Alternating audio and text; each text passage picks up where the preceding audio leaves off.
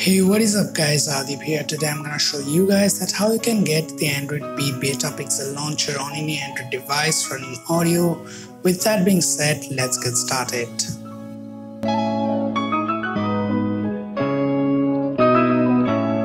Alright guys so first of all download this APK file from the link given down below and install it up and after installing it set it as your default launcher. And if pixel launcher is already your system launcher you have to install it first.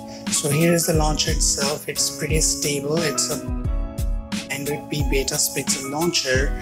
And they did change a bit on new stuff. So the dock gradient have been removed which was added in the developer preview 1 and it looks better now.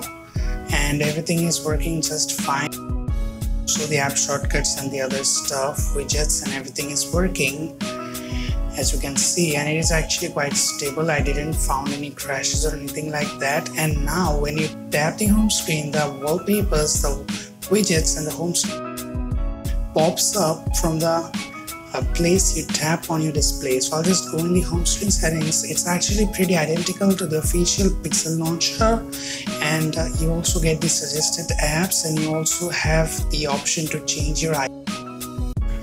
And yeah, you can do that and you get a bit of new customizations and this is rootless by the way so you get the customizations here if you want you can try these out so yeah that's all about this launcher you can try it for yourself a thumbs up, comment down below, share this video and subscribe to this channel if you haven't done that already. I'll see you next time.